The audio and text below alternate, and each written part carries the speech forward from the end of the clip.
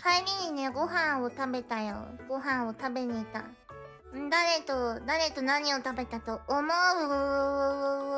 思う？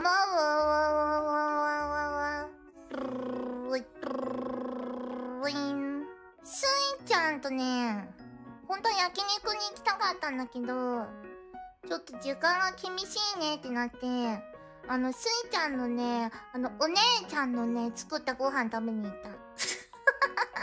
姉町のご飯食べたみこ。姉町のご飯。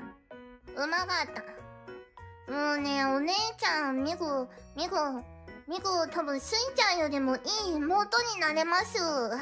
と思ってね。うん。星町の子になろうと思った。みこも長女だけどさ、それ以上の長女味を感じたよね。姉町は。みこ実は姉町と会うの初めてだったんだよね。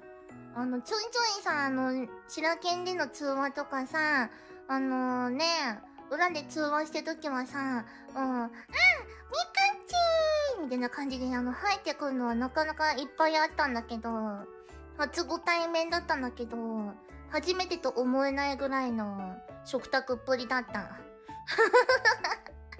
そう、美味しかった。何食べたの？あのね、いっぱいいろんなの。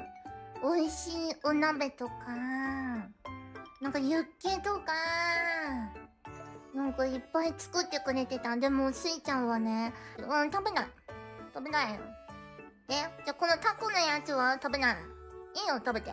肉の方がいい、いい妹になれるぞって思った。いつもね、あのね、スイちゃんは食べてくれないの。ミクちゃん食べてくれて嬉しい。いっぱい食べてねってずっと言ってた。姉町が。可愛かった、姉町。姉町。